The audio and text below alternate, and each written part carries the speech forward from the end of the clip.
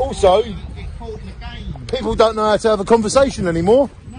because all they do is, Press buttons yeah, things on the computer. they know how to press buttons on computers and talk to people in.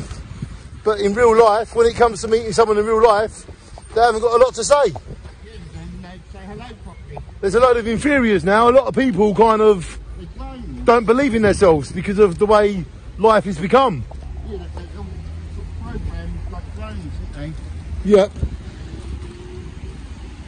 So, ladies and gentlemen, the point of this film is get get out, get socialising when you're allowed to.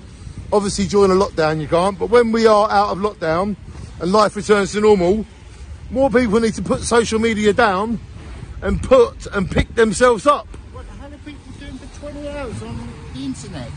Uncle Dean, let me tell you a story. I go on the internet at say eight in the morning when I wake up just to check my messages. Yeah. Yeah. There's people on it. Then I go on there at eight at night to check what- something. what- the same people are on it, and then then I go on there at one in the morning because I can't sleep, and the same people are still on it all day. They've If been on it. If you're looking at a monitor or a phone, anything like that, they say four or two hours before you go to sleep. Uh, that interfere with your sleeping. Yeah. You give yourself two, And three it, hours before you go to sleep. And it away miss- from it. and it- and it messes with people's mentality. Does it? So people need to basically get off and shine on. Yeah. Get off technology and shine yourself on. Yeah. Yeah. There you go. Get off technology and shine yourself on. I used to go round collecting records when I was working. I had my back injury and breathing problems.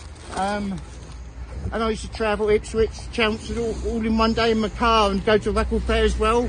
And I've still got those records and the people I've met on the way and talked to. Now people just go on eBay or Amazon and buy them.